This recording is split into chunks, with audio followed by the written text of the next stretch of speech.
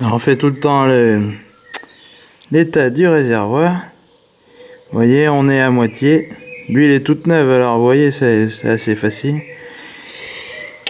On fait le niveau des carburants, du refroidissement. Euh, j'ai rempli le semoir. J'ai vérifié si la roue s'est pas dégonflée, s'il y a une pièce qui est pas cassée. Et on va embaucher euh, une journée de maïs. On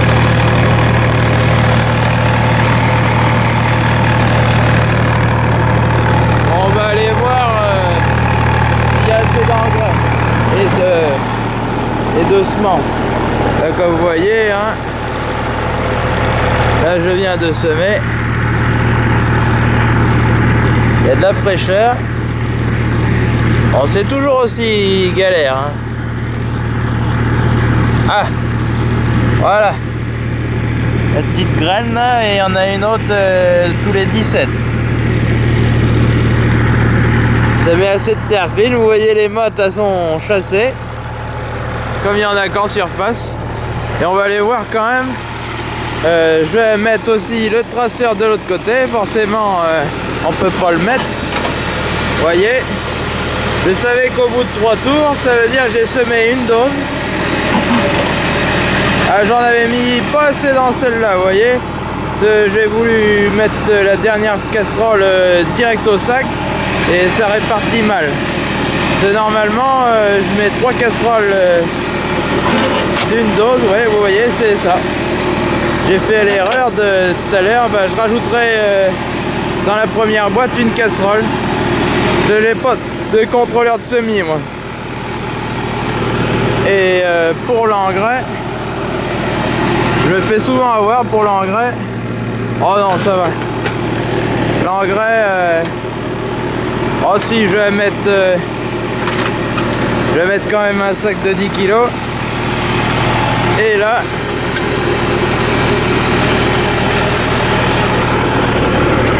l'autre traceur, vous voyez, ce que je vous explique, en fait, c'est dans le passage de roue, passage de roue du tracteur. Comme ça, je sème le rang. Euh, ce rang est tout le temps semé euh, ici. C'est ce rang là. Vous voyez, il va être semé à côté de l'autre. Et le traceur est tout le temps ça, faut faire bien attention que ça soit réglé. Et aussi que le troisième point soit plat. Que le socle et tout ça euh, soit de niveau du sol pour que ça sème bien. Et là, je suis bien content. Je viens de semer euh, en trois quarts d'heure euh, trois tours de chante là. Le champ il fait 4 hectares. Et on va aller essayer de continuer. Euh, ils annoncent des orages ce soir, mais bon. C'est on est le 18 avril. Allez, je continue. Allez, on est reparti, on a fait le plein. Alors moi, j'ai la ligne à suivre là. Vous voyez que c'est faut être euh, très concentré.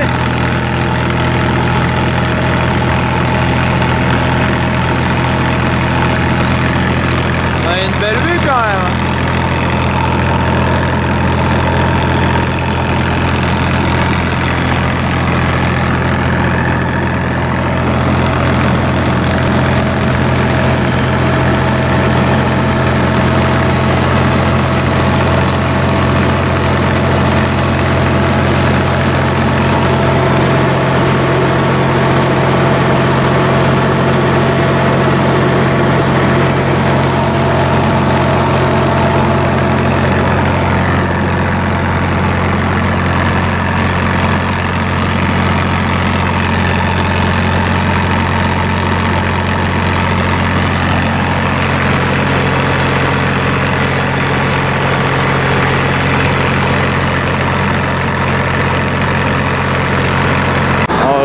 Profiter aussi pour amener euh, la semence au père, euh, comme ça ça nous évitera de faire un autre tour de tracteur.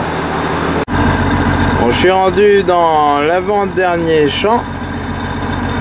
Là j'ai passé un coup de déchômeur euh, hier soir juste sur la chinte et là. Et là tout le reste je l'avais repris au vibroculteur. Là c'était le champ où j'avais filmé ma première vidéo. Et il y avait un problème là de d'engrais. Il est toujours d'actualité. On a remis de la sulfate là cette année. Parce que le chlorure suffit pas. Et puis on va gratter ça. On va ça a l'air pas trop mal aller là. Le, deuxième coup euh, raplani. Recasse les mottes parce qu'il y a eu 3 mm euh, hier soir. Euh, ça devrait aller. Je vais y aller à 9 km heure avec le vibro et puis le double rouleau je vais vous montrer mais il travaille euh, bien.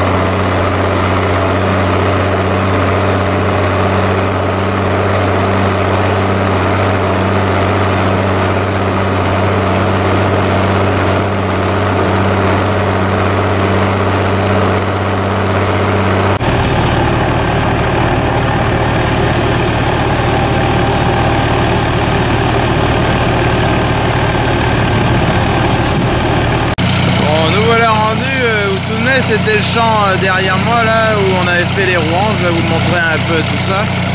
Et je vais vous montrer comment on procède pour mettre en graines euh, les, premières graines du semoir. Alors j'avais passé un coup de déchômeur direct sur le labour, 2-3 jours après. Et là hier soir euh, j'ai passé le vibro. Bon c'est pas joli en surface, il reste quelques mottes. Mais l'important c'est la fraîcheur dans les premiers 3 premiers centimètres là. Il n'y a pas beaucoup de sec comparé à l'autre champ d'hier. Et ce que je vais faire, là j'ai 533 la semence. Faut que je mette la prise de force. Hop. Faut embrayer doucement parce que c'est... Voilà. Et ce qu'il faut faire pour que c'est là j'ai changé de variété. Euh, comme vous pouvez voir. Il n'y a pas encore de grains sur les disques. Alors ce qu'il faut faire, c'est faire tourner le... Il y a une chaîne de vélo là. On fait tourner le mécanisme. Et dès que ça tombe des graines, là, vous voyez, ça vient en tomber trois. Ça met vraiment pas longtemps. Et après, bah, je vérifie quand même. Ah bah non, c'était pas des graines... Euh, c'était des graines qui étaient tombées au moment de la vidange. C'est là, on retourne. Là, là, à ce coup-là, ça doit être bon. Il faut savoir que si vous faites pas ça, euh, sur vos premiers mètres, et eh ben, vous aurez pas euh, le grain. Parce que là, j'essaime tous les 17 cm comme on est dans un marais. Et là on avait changé, c'est pas les mêmes plateaux que les plateaux à tournesol. Et après, euh, bon là c'est réglage dans les engrais. C'est à l'intérieur là. Il y a comme des pignons de vélo. Et euh, faut changer de pignon euh, pour être adapté à la dose qu'on veut. Bon après ce qu'il faut faire c'est prendre la bonne vitesse. Moi je travaille en quatrième lente, c'est à vrai dire 6 km h et demi. Des fois je descends à 6 km h ça dépend euh, s'il y a des pierres. Bon là c'est un limon, on va essayer d'aller assez vite. Et après bah, faut baisser le semoir tout simplement et puis avancer et moi je suis une ligne droite. Quel saut Tu vois, je suis pas réveillé, c'est 7h là ce matin. Si on met pas le traceur, ben... Ça va pas aller. Ah merde Forcément, faut que... Je sais pas ce que le père a fait l'autre jour, il a... Il a dû accrocher ça dans... Ça a cassé la ficelle. En fait ce traceur, ça va être mon guidage. Je mets ma roue euh, euh, droite pour moi. Pour que après le rang euh, sème tous les 78. Sinon, quand tu veux biner ou moissonner, bah, c'est embêtant.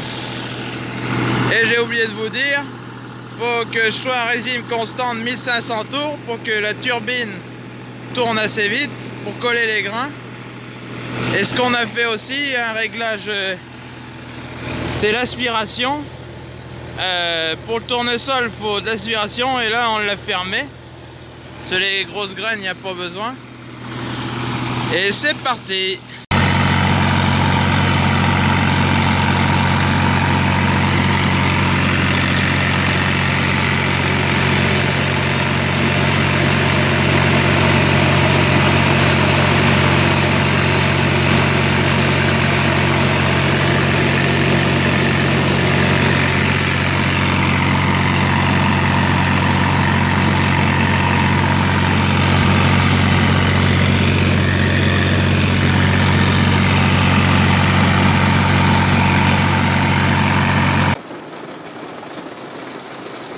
Bon bah il restait 2 hectares et demi et puis voilà.